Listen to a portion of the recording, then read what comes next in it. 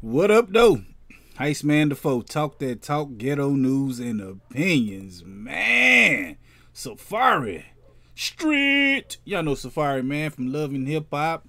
Used to be um Mrs. Nicki Minaj or Mr. Nicki Minaj, however you want to put it, man. They was together and all that. He didn't. He with Erica Mena now. And they back on and off and off and on and on. Ah, all that stuff. Y'all know them people though, man. But he coming out right now saying he finna start bleaching his skin. He bleaching his skin, he want to be a whole nother color, man. He want to change the game. He want to change the game on these people, man. Um, I don't know why celebrities doing this, man. I that's between them, but look at this right here, man. This Sammy Sosa, he changed his skin before. Look at Ciara. They said she changed hers. Like I don't know, man. Look, this the evidence y'all got, man. Nicki Minaj, look at her. She told, oh lord, she totally two different colors, man. And y'all remember um Serena Williams last month, last couple about two months ago, couple months ago, they said she did hers too, man. So I don't know, man. Safaree, I don't know what you're gonna do.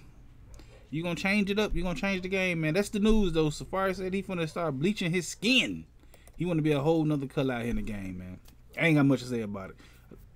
What we gonna say somebody Friday? Cause that's what we do. We talk real on Friday. On talk that talk. This is the ghetto news. This is like a commercial to get you to come watch me Friday live when I can say what I really want to say. Anyway, like I said, I go live every Friday at 9 p.m. Y'all got to come through and holler at me, man. Hit that like button, the comment button, the share button, the subscribe button, the notification bell. All them good buttons you got to hit to get this pimping that I'm putting out. Like I said, I go live every Friday at 9 p.m. Come through and holler at your boy. Heist Man the Foe. Talk that talk, ghetto news and opinions.